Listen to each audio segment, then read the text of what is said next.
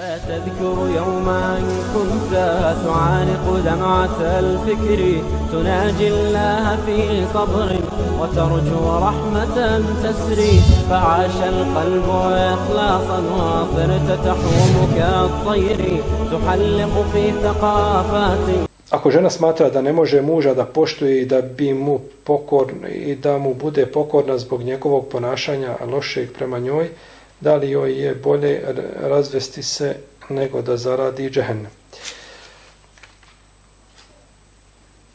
Pa žena koja smatra da ne može, znači zbog, znači, zbog njegovog ponašanja lošeg, da ne može biti dobar i da se ne može promijeniti, da se ne može prilagoditi, i zna da, da, da, da, da takav brak ne vodi znači, u, u dobro i da sama djeca znači, trpe to i odgoj i da oni kao bračni par predstavljaju u jednom društvu islam u ružnom svijetu, onda je bolje da se razvedu. Nema sumnje da je bolje da se razvedu, jer ovaj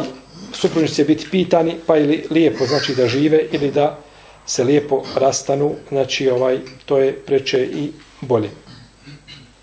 تذكر يوما كنت